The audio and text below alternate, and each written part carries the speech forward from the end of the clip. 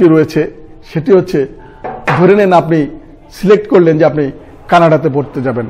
ধরে নেন আপনি সিলেক্ট করলে আপনি আইন পেশায় ইংল্যান্ডে পড়তে যাবেন। তাহলে সে দেশে বা ইংল্যান্ডে বা আপনার কোনো বন্ধু বা বান্ধবী আছে কিনা, বা যারা ওই দেশ থেকে পড়াশোনা করে এসেছে, বা আপনার এমন কোনো শিক্ষক আছে কিনা যারা বিদেশ থেকে ডিগ্রি নিয়ে এসেছে, তাদের কাছ থেকে ফোন দিয়ে আপনি কিছু জ্ঞান অর্জন করুন। এই জ্ঞান আপনার পরবর্তীতে কাজে লাগবে।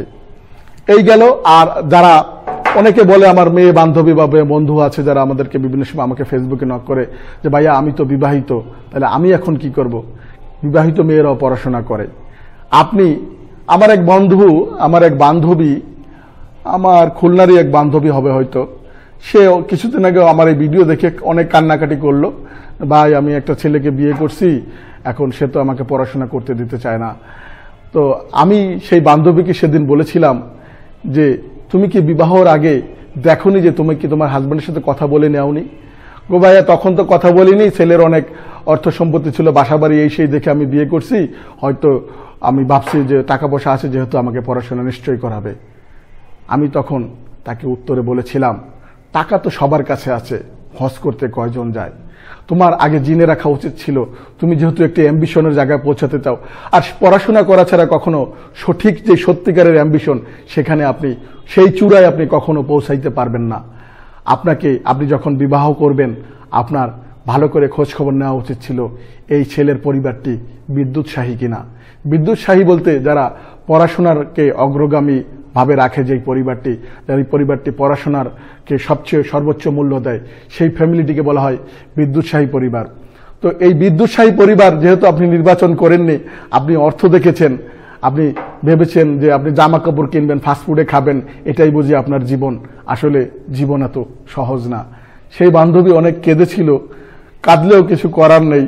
আবার শেষে আমি তাকে বলেছিলাম, টাকা তো সবার পকেটে আছে। আসলে কি সবাই হজে যায়? ভালো মহৎ কাজ করবার জন্য মহৎ মানুষের সাথে মিশতে হয়। এটি তুমি সেদিন ভুলে গিয়েছিলা। কি বলব? যাই হোক, সেই গল্প নাইবা বলেই একজনের দুঃখ ভরাক্রান্ত গল্প। আর যে সমস্ত বান্ধবীরা বিয়ে করেছ বা বিয়ে করবে, তারা অনেকে আমাকে বলে যে, ভাইয়া, আমি বিয়ে করার পরে আমি কার স্পন্সারে দেশের বাইরে যাব? কেন? বিয়ে করার পরে আপনি আপনার হাজব্যান্ডের স্পন্সারে বাইরে যাবেন। কারণ আপনি বিয়ে করার পরে আপনার বাংলাদেশের যারা বিভিন্ন অ্যাম্বাসিতে ফেস করবেন, তারা জানে যে বাংলাদেশের মা মেয়েরা বিয়ে করবার পরে স্বামী হচ্ছে তাদের সব। তাদের সকল ব্যয়- ব্যয়ভার স্বামী বহন করে থাকে। তাই আপনার স্বামীকে একটি সমাজে সামাজিক অবস্থান সম্পন্ন ব্যবসায়ী হতে হবে। চাকরিজীবী কি এমবিসি মূল্যায়ন করে কি না আমার জানা নেই। তবে হয়তো করে, আমি জানি হয়তো বড় বড় ব্যাংকার ট্যাঙ্কার হলে ফ্যামিলির আর সবাই যদি ভালো হয় তাহলে করে। আর বিদেশে ওই যে স্পন্সার সম্পর্কে যদি এই এই পর্বগুলো আমি আগামী পর্বে বলব, আগামী যে বললাম সহজ পাঁচটি ধাপ, সেই সহজ পাঁচটি ধাপে আমি বলব। পরিসংহারে চলে আসছে, আজকে আমি বলছিলাম যে সেই পাঁচটি ধাপের আগে আরও আগে পাঁচটি ধাপ আছে যেটি সম্পর্কে আপনার সাম্যক জ্ঞান থাকা দরকার।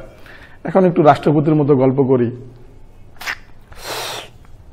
আসলে শিক্ষাই পারে আপনাকে প্রকৃত সম্মান দিতে। আপনার শিক্ষার স্কোর যদি থ্রির কিছু উপরে থেকে থাকে, আমি বলব আপনি স্বপ্নকে ছেড়ে দিয়েন না, স্বপ্নকে শক্ত করে ধরেন, একটু চেষ্টা করেন, আর ভালো মানুষের সাথে মিশন। ভালো মানুষগুলো আপনাকে সবসময় বড় হবার কথাই বলবে, আপনাকে সবসময় সামনের পথটাই দেখাবে। তাই ভালো মানুষের সাথে মিশুন, ভালো কিছু দেখুন, তাহলে নিশ্চয়ই আপনিও একদিন সফল হবেন।